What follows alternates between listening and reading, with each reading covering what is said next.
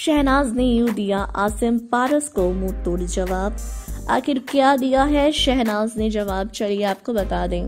दोस्तों, आपको तो पता ही है कि जब हाल ही में एक इंटरव्यू में जब पारस छाबड़ा से शहनाज के बारे में पूछा गया, उनके बिग बॉस सीज़न 15 फिनाले के ट्रिब्यूट के बारे में पूछा गया तो पारस का जवाब था कि अगर ये ट्रिब्यूट सिद्धार्थ की मम्मी देती तो ज़्यादा अच्छा लगता। लोगों को ज़्यादा पसंद आता, लोग ज़्यादा कनेक्ट कर पाते।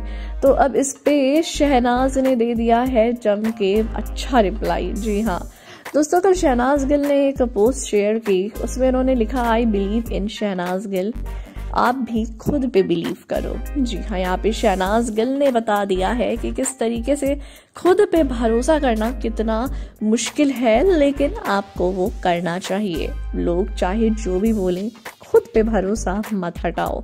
खुद पे हमेशा भरोसा करो। और जो दुनिया वाले हैं, वो तो बोलते रहेंगे, लेकिन अगर आप खुद पे भरोसा करते हो तो वो चीज़ आपको हमेशा काम आती है। एंटरटेनमेंट दुनिया की हर खबर को पाने के लिए चैनल को सब्सक्राइब कर लें।